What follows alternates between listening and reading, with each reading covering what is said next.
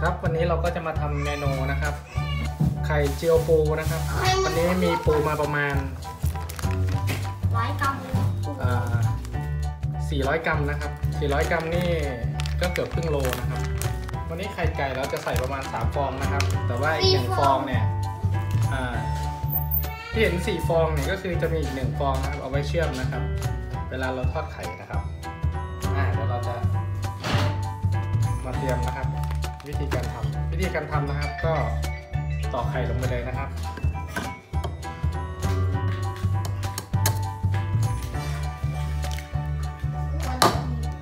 เดี๋ยวนี้ใส่ไปสี่ฟองนะครับ แต่ว่าเดี๋ยวพอผสมเสร็จปุ๊บเนี่ยฟองเลเดี๋ยวยจะแยกไว้หนึ่งฟองนะครับเพื่อเอาไว้เป็นตัวเชื่อมนะครับอ่าส่วนเครื่องปรุงนะครับ เครื่องปรุงมีน้ำปลานะครับ แค่หนึ่งช้อนนะครับ ค่นี้นะครับ แล้วก็เดี๋ยวมาตีไข่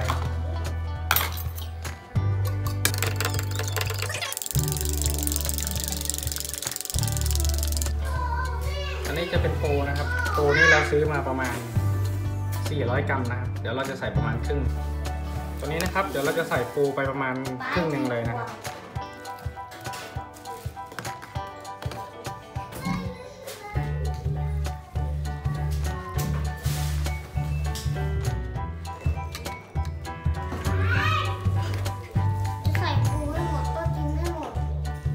แค่ครึ่งเดียวพอนะ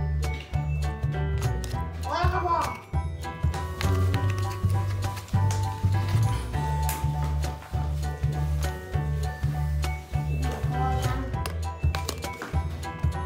เราก็จะใส่ประมาณนี้นะครับตัวนี้ใส่เราก็จะไม่ตีนะครับ ก็เดี๋ยวเราหมูกระทะอ่าเตรียมไปลงกระทะเลยนะครับกินน้ำเย็น ต้นต้นๆก็ใส่น้ำมันน้ำมันน้ำมันใส่น้ำมันเยอะนิดนึงนะครับโอ้ยเยอะมาก เพราะว่าทอดไข่เจียวปูเนี่ยน้ำมันต้องท่วมเลยน้ำมันนี่เยอะมาก ใช้กระทะแบบนี้ใส่ประมาณเกือบประมาณโอ้80%หมแล้วดนะแล้วครับน้ำมันอะ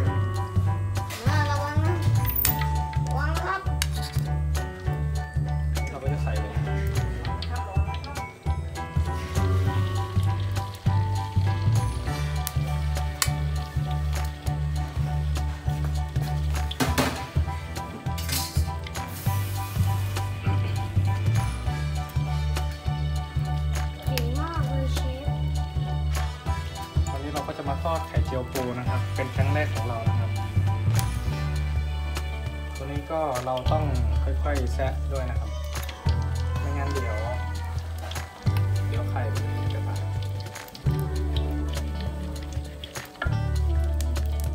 ไฟก็อ่อนๆนะ ไม่ต้องแรงมาก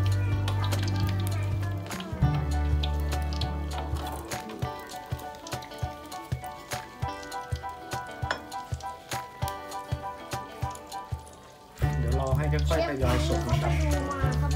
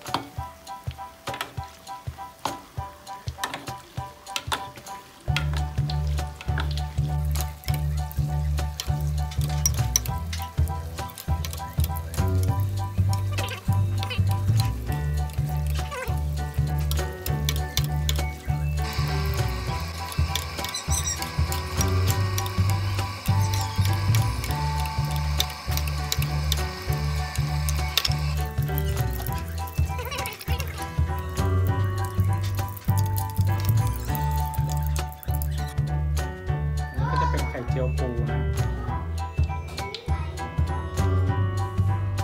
เป็นการทำครั้งแรกอ่าเดี๋ยวลองดูนะว่าจะเป็นยังไงพี่พีจะกินจะชิมไข่เจียวปูนะครับ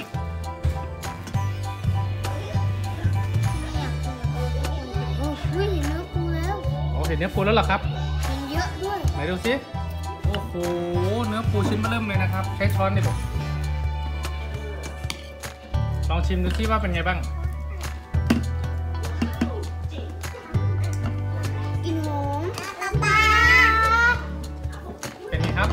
ชิมเสร็จครับ